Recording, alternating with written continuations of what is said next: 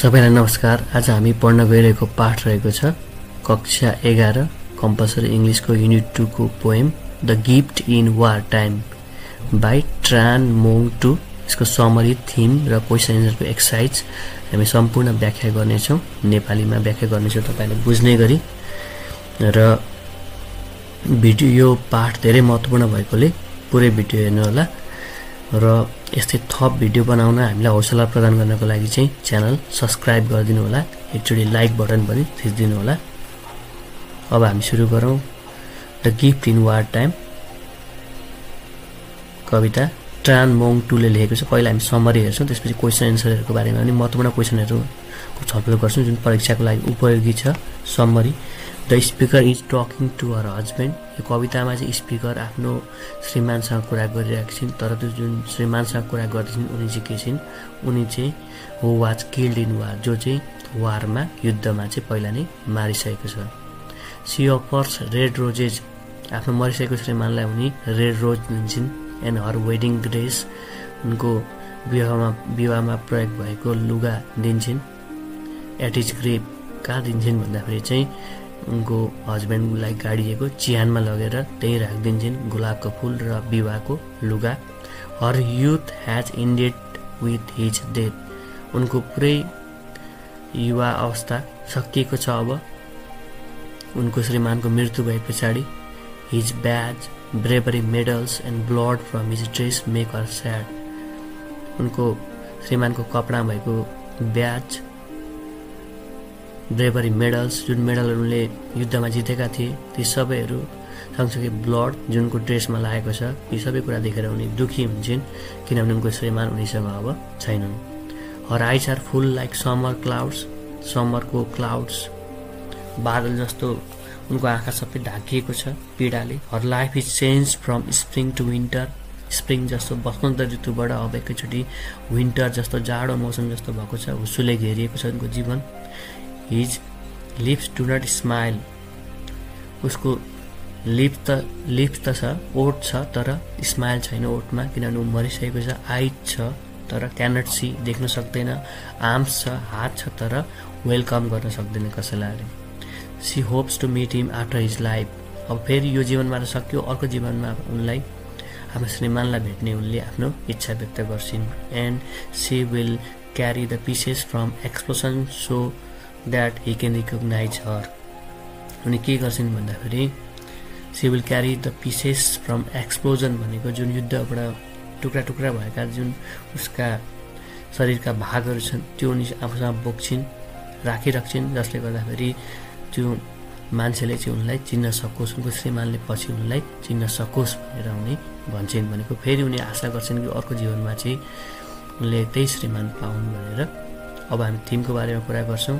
The poem talks about the tragedy caused by war युद्धले निम्त्याएको दुखान्त अवस्थालाई देखाएको छ कविताले। ट्रेजेडी वान लाइफ इन्ड्स एउटा जीवन सकिन्छ but many others are affected एउटा जीवन सकिँदा त्यसले धेरैवटा जीवनलाई असर गर्छ भन्ने यसको सन्देश हो। After the untimely death of the soldier जुन सैनिक छ उसको चाहिँ समयभन्दा अगाडि नै मृत्यु भएको छ। उसको फ्यामिली र डियर वान्सहरू के छन्? पीडामा छन्। Will suffer life is priceless जीवन चाहिँ बहुमूल्य छ। So there is no compensation for is this great loss र यो यसको लागि कुनै क्षतिपूर्तिको व्यवस्था छैन। जीवन सकेपछि सक्यो। फेर फिर्ता हुनेवाला छैन। यही नै यसको सन्देश हो। टेक्स्टमा भएको क्वेसन एन्सरलाई हेरौँ। हामी पाठमा भएको क्वेसन एन्सर ल्याएका छौँ। जुन महत्त्वपूर्ण छन्। यसको हामी व्याख्या पनि गर्छौँ र उत्तर पनि तपाईँलाई व्याख्या गरेर बताउनेछौँ। पहिलो म who is the speaker addressing and why can that person not hear or understand what she says यो कविताको स्पिकर पहिला बुझौँ। कविताको स्पिकर एकजना महिला रहेछन् हामीले बुझिसक्यो त्यो कुरा। अब क्वेसनले भन्न खोजेको who is the speaker addressing भन्दैछ भन्नेको अर्थ स्पिकरले कसलाई बोलाउँदैछ कोसँग बोल्दैछ। भनेर भन्दैछ। स्पिकरले चाहिँ आफ्नो डेड हस्बेन्डसँग बोल्दैछ। तपाईँहरूले बुझिसक्नुभयो त्यस कारण answer the speaker is addressing her dead husband who is killed in a war जुन चाहिँ वारमा मारिएको छ।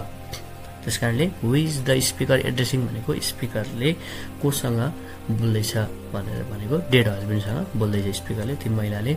Why can that person not hear or understand what she says उनले भनिरहेको कुरा उनले किन सुन्न सक्दैन वा बुझ्नु सक्दैन भन्दाखेरि हामीलाई थाहा छ किनभने ऊ मरिसकेको छ। That person can not hear or understand what she says because he is already dead मरिसकेको छ। अब अर्को प्रश्नमा जाउँ। What can you infer about the speaker's feeling for the person address as you you भनेर प्रयोग गरिएको मान्छेप्रति स्पिकरको फिलिङ भावना कस्तो छ भन्ने यसको अर्थ the speaker expresses her feeling of love loss and sadness कस्तो छ फिलिङ लभ छ डिप लभ छ। यत्रो लामो लेख्न सकिएन भने एटलिस्ट हामीले के लेख्ने भने the speaker expresses her deep feeling of love towards the dead person भन्दा नि भयो। लसको फिलिङ पनि छ स्याडनेस पनि छ। After the death of the person she calls you he was her happiness in life उनको जीवनको मुख्य खुसीको स्रोत भनेकै उनको श्रीमान थियो तर श्रीमान पनि युद्धमा मारिए। Now she has lost him she cannot get his smiles and hugs she hopes to meet him meet him after his life अर्को जीवनमा चाहिँ पक्कै भेट्नेछु भन्दैछन् यत्रो लामो नलेखिकन हामीले माथिको मात्रै लाइन प्रयोग गर्दा हुन्छ। अब अर्को प्रश्न way the speaker sorry what is the speaker's attitude toward war स्पिकरको वारप्रतिको युद्धप्रतिको विचार कस्तो छ भन्दैछ? पक्कै पनि नराम्रो नेगेटिभ छ। सी डजन लाइक वार भन्दा पनि हुन्छ। The speaker complains against war her feelings so the tragedy caused by war it kill her dear husband tragedy गरेको छ उनको जीवनमा। दुखान्त अवस्था ल्याएको छ। उनको श्रीमानको मृत्यु भयो। जीवन पनि बर्बाद भयो।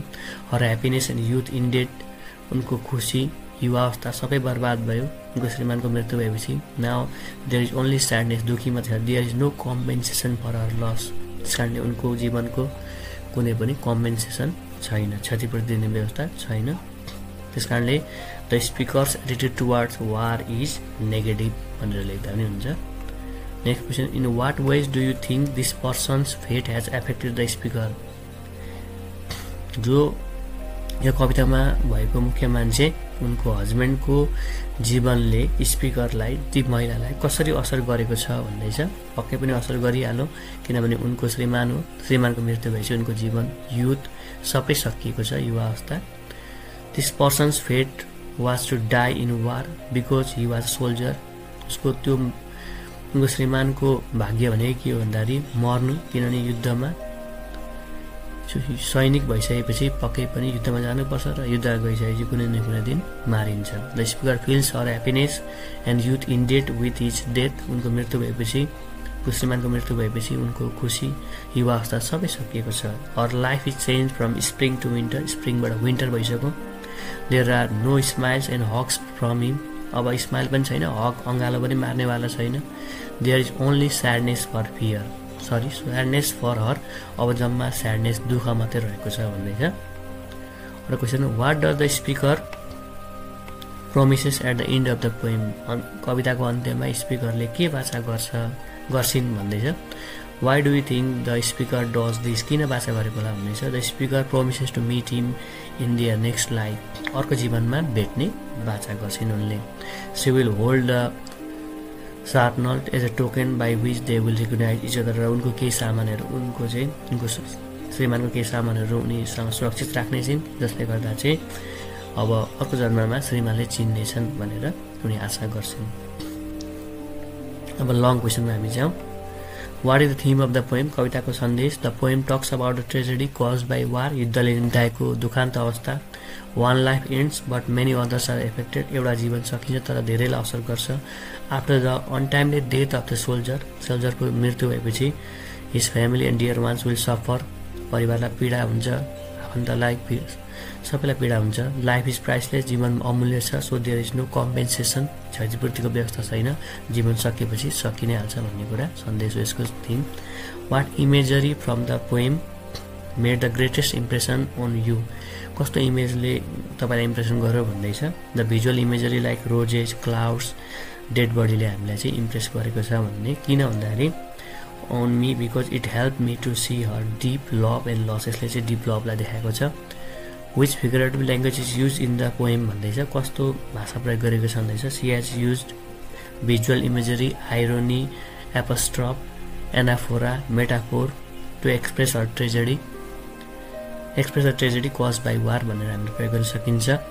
जस्तै visual इमेजमा rose cloud dead body etc इटिसीलाई हामी प्रयोग गर्न सकिन्छ। अर्को प्रश्न what does the speaker offer in this poem के के दिन्छन् उनीले भन्दैछन्। What does the person addressed as you give in return र त्यो यु भनेको मान्छेले के दिन्छ भन्दैछन्।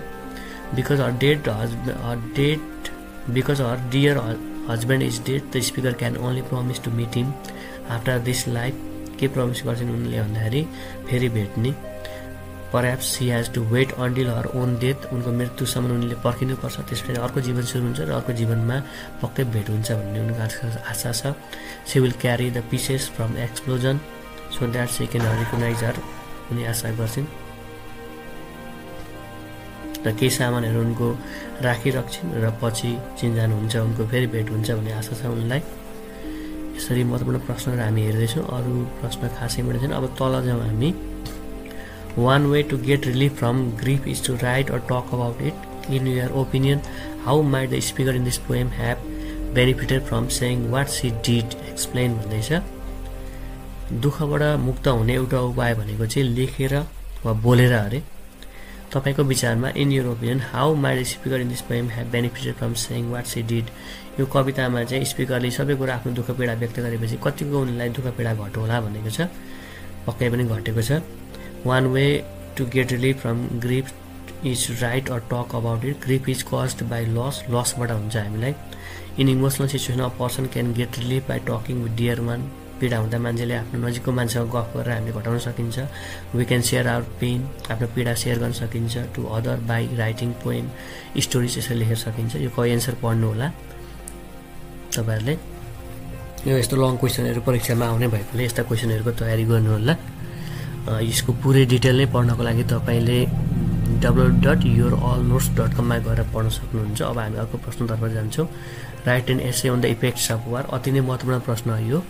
युद्धका असरहरू यो पनि यसै महत्त्वपूर्ण भएकोले यसलाई पढ्नु होला र पढ्नको लागि मैले भनिसकेँ W dot your all notes dot कममा गएर तपाईँले पढ्न सक्नुहुन्छ। त्यसै गरी अन्य नोट्सहरू पढ्नको लागि पनि तपाईँले W dot your all notes dot com जान सक्नुहुन्छ। प्ले स्टोरमा पनि तपाईँले योर अल नोट्स भनेर डाउनलोड गर्न सक्नुहुन्छ सर्च गरेर।